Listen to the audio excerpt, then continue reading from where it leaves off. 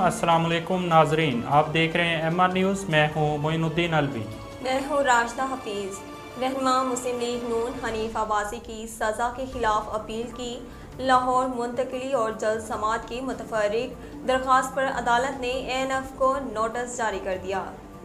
तफसीत के मुताबिक Lahore high court में मनशियात केस में मुस्लिम लीग नून के रहनुमा हनीफ अब्बासी की जानब से सज़ा के खिलाफ अपील की। लाहौर मुंतकली और जल्द समात की मुतफरक दरख्वास्त की गई।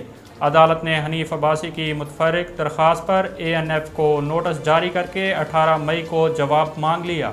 D I G traffic Punjab के अहकाम पर रावलपिंडी ट्रैफ़िक पुलिस ने रोड सेफ्टी के हवाले से आगाही मुहिम का आगाज़ कर दिया। तफसीत के मुताबिक chief traffic officer Rawalpindi Naveed Arshad ने कहा कि ट्रैफ़िक कवानीन आगाही मुहिम का मकसद हादसा पर काबू पाना है।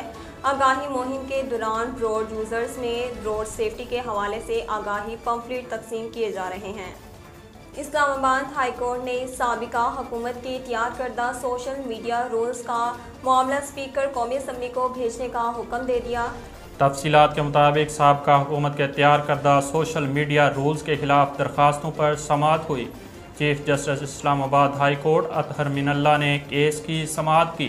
शहर कराची के बेशतर इलाकों लोड शेडिंग का दौरानिया बढ़ने लगा, जिस पर के इलेक्ट्रिक की जानब से अहम वजाहत पेश की गई है। लोड शेडिंग के हवाले से के इलेक्ट्रिक के तर्जमान का कहना है कि बिजली की फ्राहमी बिलों की अदायगी से मशरूत है। अदम अदायगी पर मुनकिता होने पर कनेक्शन को लोड शेडिंग से तशबी देना दुरुस्त नहीं। तर्जमान के इलेक्ट्रिक ने कहा कि शहर में शेड्यूल के मुताबिक लोड शेडिंग की जा रही है। नाजरीन, अब तक के लिए इतना ही। मजीद खबरों और तफसीत के लिए देखते रहिए एम आर न्यूज़